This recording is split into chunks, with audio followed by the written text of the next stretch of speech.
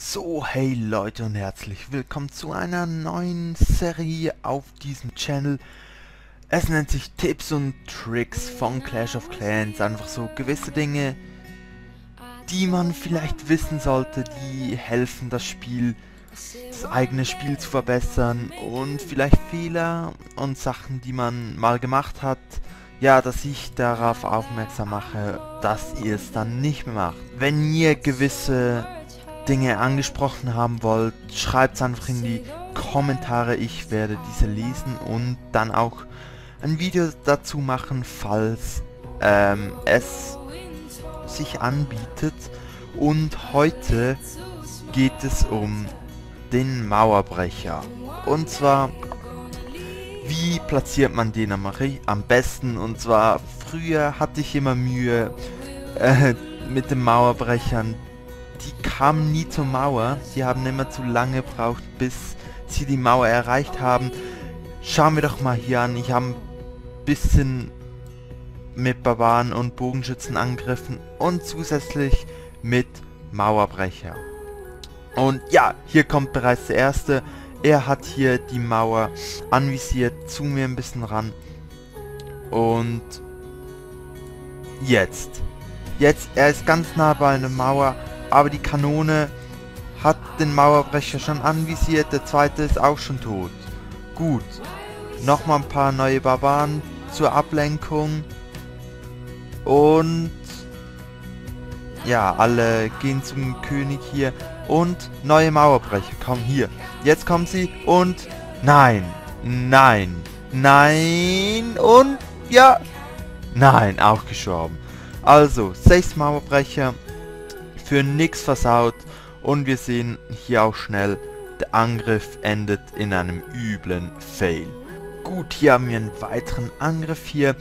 Mein Ziel war es vor allem, das Deli zu holen.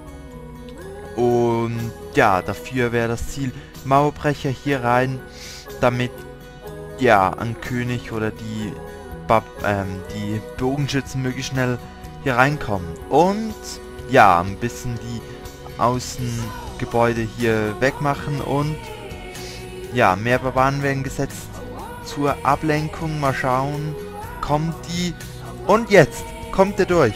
Der Mauerbrecher. Kommt er durch? Das ist die Frage. Und vielleicht, vielleicht. Nee. Und nee. Und nee. Und nee. Und nee. Schon wieder. Oh, einen habe ich sogar noch. Und jetzt ganz viele Ablenkungen gemacht und... Nee, irgendwie auch gestorben. Durch Flächendamage. Also, wieder ein Fail, wieder sechs Mauerbrecher versaut. Weshalb? Weshalb? Das ist die Frage, die wir in diesem Video klären wollen. Ja, und dazu zeige ich euch doch einen erfolgreichen Angriff. Hier wieder ähm, am Deli Farm, das heißt, diese Mauer durchbrechen und die Bogenschützen haben kein Problem. Zuerst ähm, das Rathaus, da wir wahrscheinlich nicht auf 50% kommen werden, weil, ja, das ist speziell Deli-Farm-Taktik, die ich, ja, die ich, so greife ich an und da geht es meistens nicht auf 50%, aber das wird in einem anderen Video dann das Thema sein. Jetzt, Mauerbrecher kommen. Und Bam! Sie explodieren. Sie kommen durch. Ja, weshalb denn? Ganz einfach. Und zwar, sobald die Kanone, hier sehen wir es, sobald die Kanone jemanden tötet, was vorhin geschehen ist, geht sie auf die nächste, auf den nächsten Menschen, der am nächsten von ihr weg ist. Und das ist jetzt der Mauerbrecher. Tot. Der ist nicht durchgekommen. Die nächsten kommen, ja, jetzt ist der auch wieder in der Nähe. Und da die Barbaren vorhin ganz an der Mauer waren und der, ähm, der Mauerbrecher kam, waren noch Barbaren näher bei der Kanone als der Mauerbrecher und deshalb sind sie explodiert. Und das war auch das Problem von vorhin. Also deshalb nicht Mauerbrecher einfach random setzen, ähm, sondern entweder in einer großen Gruppe, einfach dass die Kanone nicht nachkommt. Dann hat man aber das Problem von Minenwerfer. Und zweitens halt Barbaren als Ablenkung bringen. Und dann hat der Minenbrecher Zeit zu explodieren. Okay, das heißt es gibt zwei Möglichkeiten, die Mauerbrecher effektiv zu setzen. Und zwar entweder in einer Gruppe oder man ähm, sucht sich eine Ablenkung, indem man Barbaren oder so setzt. Hier haben wir ähm, das erste Beispiel hier. Und zwar, ganz viele Riesen kommen. Und diese lenken bereits mal die beiden Flächendamage Leute ab. Und man muss sehen, ähm, der Magierturm, der greift so lange halt den einen Riesen an oder die Riesen an, bis der gestorben ist. Das geschieht nicht, also das heißt, oder sie aus der Reichweite sind, aber das geschieht nicht. Das heißt, die Minenbrecher hier sind sicher. Aber wir haben hier einen Bogenschützenturm und diese beiden Kanonen, die sind an den hier beschäftigt. Und jetzt schauen wir mal. Da, der Bogenschütze hier hat bereits einen getötet, aber man braucht hier normalerweise nur zwei für eine Mauer. Er hat vier gesetzt und die gehen kaputt. Weil sie in einer Gruppe gesetzt worden ist und der Bogenschütze war nicht schnell genug. Und diese Kanonen hier und diese Abwehren hier waren mit den Riesen beschäftigt. Also wir haben hier gerade beides mal. Und ja, sehen wir noch ein weiteres Beispiel an. Und hier sehen wir ein letztes Beispiel. Wieder ein kleiner Griff von Hellfire. Diesmal ist ISO, vorhin war es Sebi.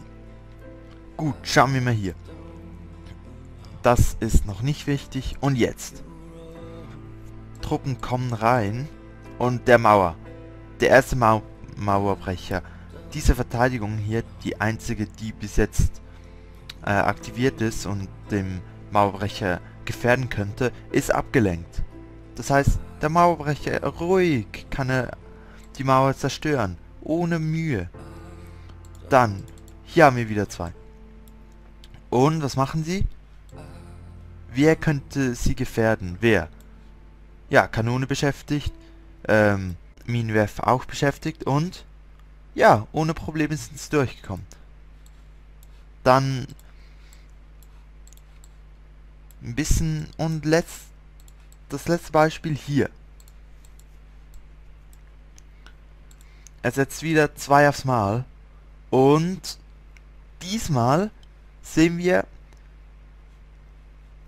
der Bogenschützenturm ist beschäftigt, der Magierturm hingegen nicht und der wies jetzt hier an und ja, diese beiden Verteidigungen sind auch mit denen hier beschäftigt. Das heißt, und er trifft nicht. Gibt's denn das? Und jetzt? Ja, zu spät. Er trifft nicht. Kann's das sein? Ja, das ist auch, auch so ein spezieller Fall, dass er nicht trifft, aber auf das würde ich irgendwie nicht gehen. Ähm, ähm, beim Minenwerfer halt ist das nicht so eine Gefahr. Der kann die äh, Minenwerfer wirklich nur dann treffen, wenn sie an der Mauer sind. Und anscheinend ist das auch so beim Magierturm. Interessant.